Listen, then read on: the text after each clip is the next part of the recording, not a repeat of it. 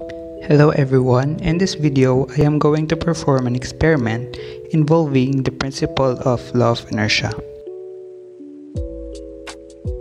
Here are the materials that we're going to use. A clear glass, a playing card, and a coin.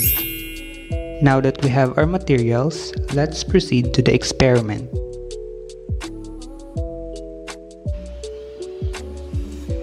First step, we need to place the card on top of the glass. And then, we are going to place the coin on top of that card. Now, we need to flick the card and see what happens.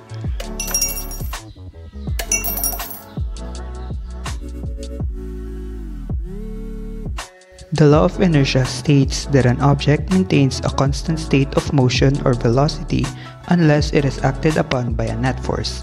This means that an object at rest stays at rest and an object moving continues to do so unless some force acts on it causing it to change. Inertia is generally considered to be the measure of an object's tendency to resist change of motion when acted upon by a net force. It is directly related to the mass of the object. In our experiment, there is no force acting to cause change, therefore everything is currently at rest.